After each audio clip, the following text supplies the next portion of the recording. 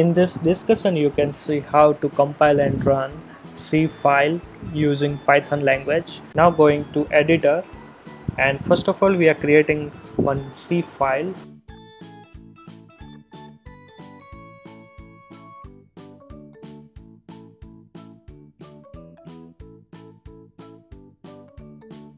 Now we have to add one print statement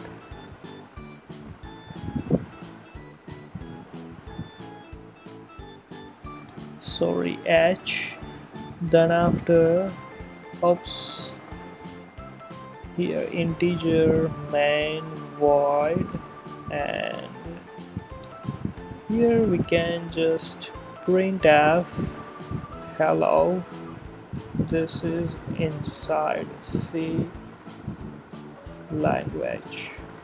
And simple return 0 with semicolon so now we completed one C language uh, C file.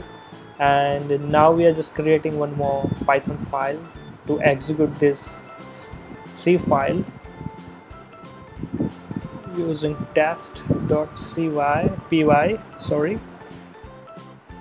And here first of all we are just importing one library which is uh, sub process and using this library we are executing my c file.c uh, like using this library we are just compiling and executing that file. Now what we have to do is first of all we are just printing here inside python file. Now what we have to do is we have to use as a sub process dot call and here we have to give the file name. But uh, before that file name we have to use gcc using this gcc it will compile and gives the one output file and we have to execute that output file. That's it.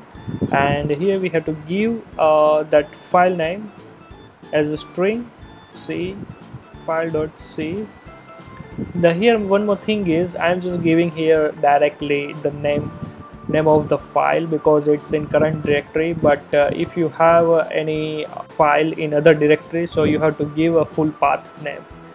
And uh, one more thing is we have to do is again call like uh, using dot slash a dot out.